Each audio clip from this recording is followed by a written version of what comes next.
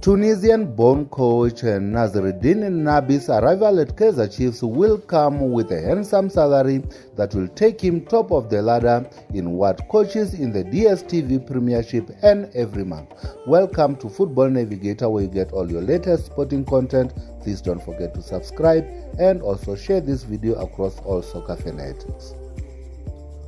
Former Mamelodi Sundowns coach Rulani Mokwena was the highest paid DSTV Premiership coach with a gross monthly salary that was reported in the region of over 600,000 rands before bonuses.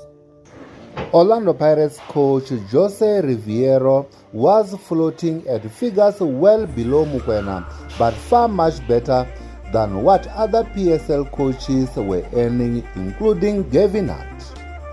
The league's lowest earners are Phuti Mohafe of Polokwane City as well as Moroka Swallows Musa Nyatama. The new Kaizer Chiefs coach will jump straight into the pinnacle of the highest paid players in the DSTV Premiership.